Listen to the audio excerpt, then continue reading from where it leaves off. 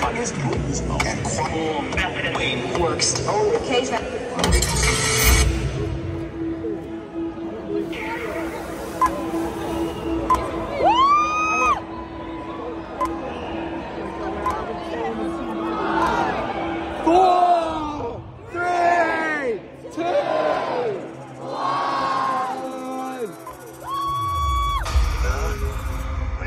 Let's see.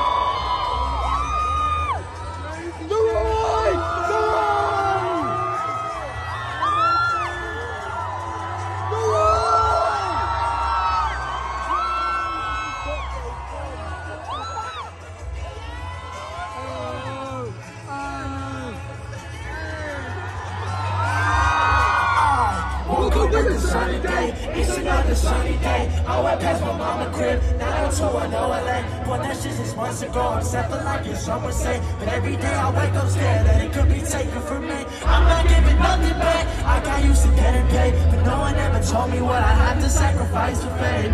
Uh, shit, I'm just trying not to go insane. But I got all this weight on me, and I just wanna. I said, I don't wanna hear from y'all. I'm losing my temper now.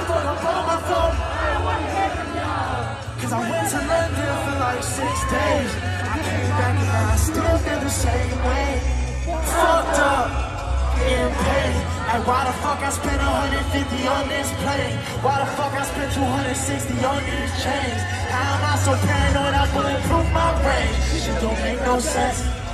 But I mean, the pressure's immense. I'm 19, trying to navigate money and stress. Weird industry friends, and my family life is intense. And my girl is always upset, cause I'm always fucking right. Shit, I expect some respect.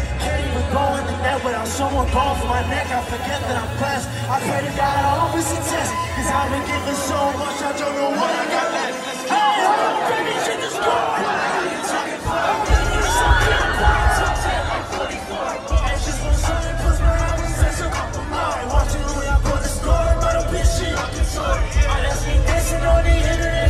Be Want my reaction, but my time for shit you can't afford. I'm paying